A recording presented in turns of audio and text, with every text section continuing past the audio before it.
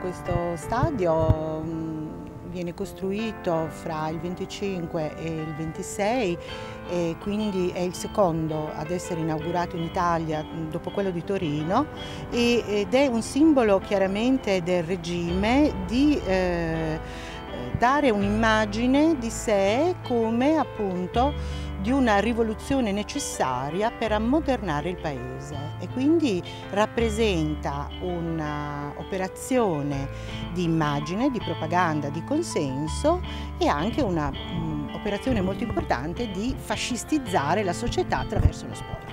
L'Aquila, che sappiamo era il simbolo della grandezza dell'impero, della Roma imperiale che Mussolini voleva eh, rifondare in questa Italia uscita stremata, dissanguata dalla Prima Guerra Mondiale. L'Aquila quindi è, è immediatamente leggibile come simbolo di questa ideologia totalitaria.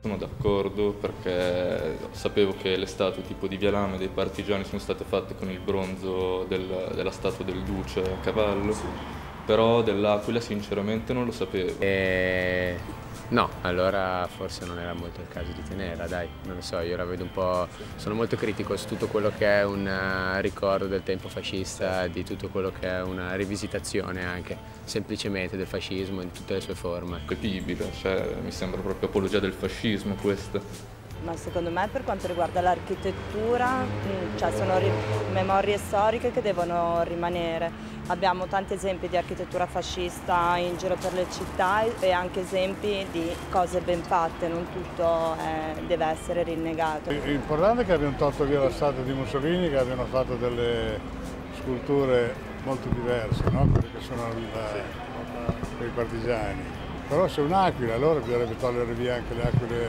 romane, se fa parte di un pezzo di storia, ecco.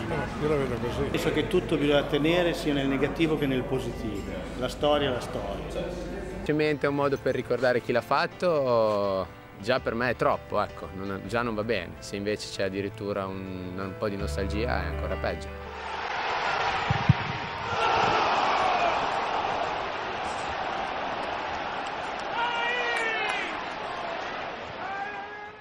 La storia di Arpad Weiss, questo allenatore eh, ungherese che eh, era considerato un eroe in tutta la Bologna di allora, accolto eh, dalla Bologna fascistissima come un eroe dal 38 in poi per le leggi razziali, proprio perché era ebreo, diventa improvvisamente un, ehm, un nemico.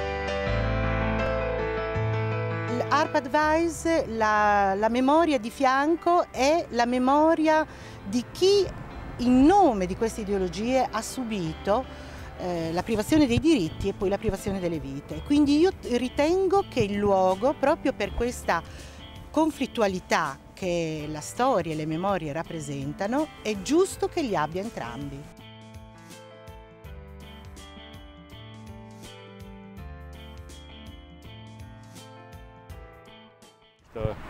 Dunque, la, la, la targhetta è stata fatta ultimamente, credo che sia passato neanche un anno che hanno fatto, pensato di fare questa targhetta per dare, eh, per dare prestigio a questo allenatore che effettivamente fece del bene, come, diciamo come il presidente Dallara, ecco, fece del bene al discorso come calcio, parlo del calcio di Bologna, però eh, se l'ha messo lì non ci ho fatto caso a livello del discorso dove, dove, è questa targhetta, però so che è stato fatto, conosco il motivo del perché l'hanno fatto e mi sembra che sia molto giusto. Eh, mi sembra un po' paradossale che sotto l'aquila fascista ci sia... Eh.